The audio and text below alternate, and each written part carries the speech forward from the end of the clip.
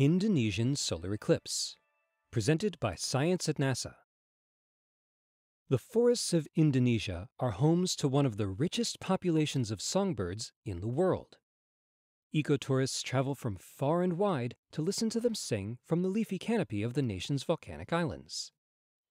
On March 9, 2016, not long after sunrise, a time when the forest is usually filled with tweets, trills, and warbles, the songbirds of Indonesia will go silent. That is how songbirds respond to a total eclipse of the sun. Eclipse chasers have had the date marked on their calendar for years. It is the only total eclipse of 2016.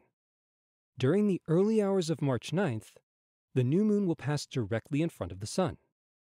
The moon's shadow will lance down toward Earth, making landfall initially in the Indian Ocean, racing across Southeast Asia, and from there onto the Pacific Ocean, where the eclipse will be partially visible in parts of Alaska, Guam, Hawaii, and American Samoa. Inside the moon's cool shadow, skywatchers can look up and see the sun's ghostly corona, a mesmerizing sight. Sarah Jaeggli, solar scientist at NASA's Goddard Space Flight Center, says, I cannot stress enough how special solar eclipses are. Eclipses let us see a region of the sun's atmosphere called the corona that is generally invisible to us.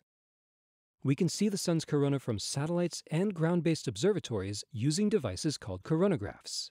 But we simply cannot build a coronagraph that is as good as the moon passing in front of the sun.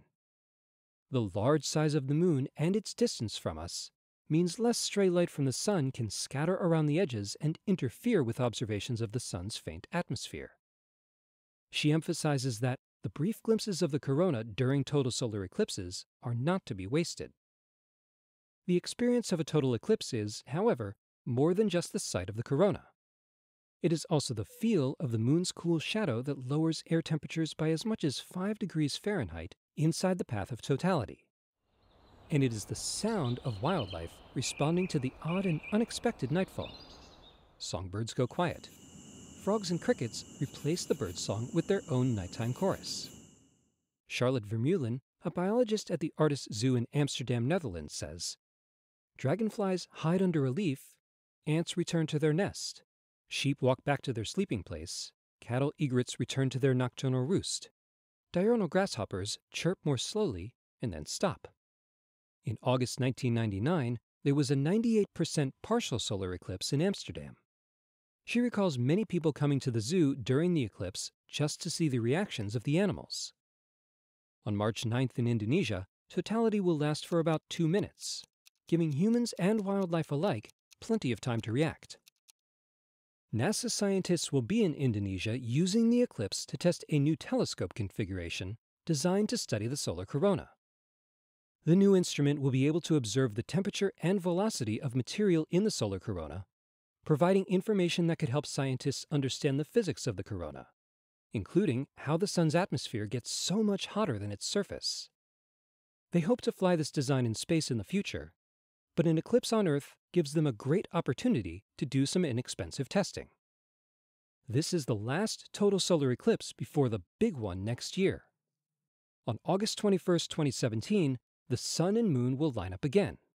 This time, the Moon's shadow will cross the continental United States, creating a total eclipse in easy driving distance of tens of millions of people.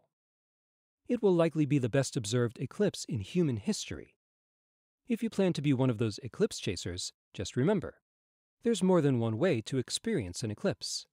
See the corona, feel the cool air, listen to the songbirds and other wildlife. The preview begins in Indonesia on March 9th. For more news about solar eclipses, stay tuned to science.nasa.gov.